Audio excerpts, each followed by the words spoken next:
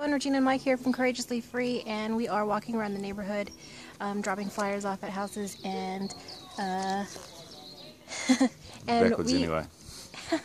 no, it'll show up, Oh. I think. And we um, stopped by this house because we thought it was really cool. You know, hey, if you need a coffee cup, you know where to go to.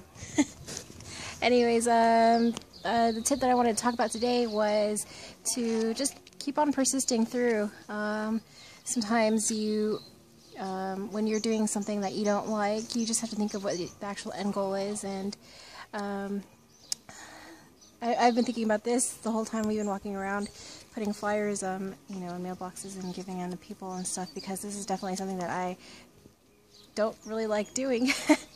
but just as an example, yesterday um, I stopped by a few a few um, gyms to drop off some flyers, and there was one in particular that um, you know wasn't too keen on um, me leaving their flyers there, and then I almost didn't go to the one after that because I was thinking, well, that one if that gym wasn't going to put my flyers out, then the next one probably won't because they're you know a bit hoity-toity.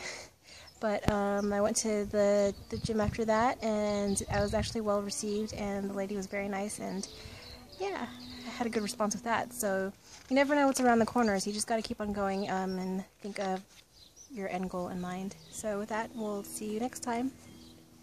Alright, same place, same channel, same, not the same time. I'll see you soon. Bye.